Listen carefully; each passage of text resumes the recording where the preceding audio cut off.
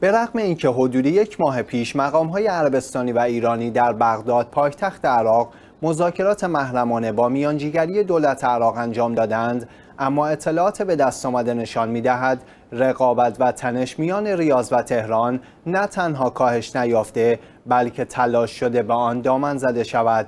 همکارم علی اکبری گزارش می‌دهد.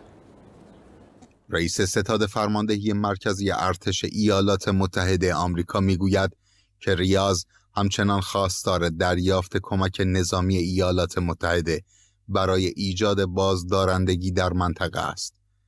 ژنرال مکنزی رئیس ستاد فرماندهی مرکزی ایالات متحده در گفتگو با خبرنگاران گفت که به رغم توقف حمایت واشنگتن از جنگ ائتلاف سعودی علیه یمن در اوایل سال جاری دولت جو بایدن همچنان به ارائه کمک های نظامی به عربستان سعودی از جمله افزایش کارایی سامانه پدافند هوایی این کشور برای مقابله با موشک های انصار الله یمن پایبند است.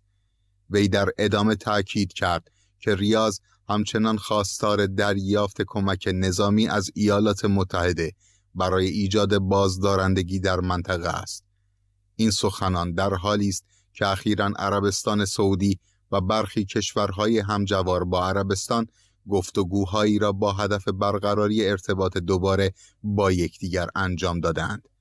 لازم به ذکر است هرچند نتیجه و خروجی این گفتگوها هنوز مشخص نیست اما کارشناسان می‌گویند ایجاد روابط حسنه میان قدرت‌های منطقه مانند عربستان و ایران می‌تواند به آرامش و ثبات منطقه خاورمیانه بیانجامد.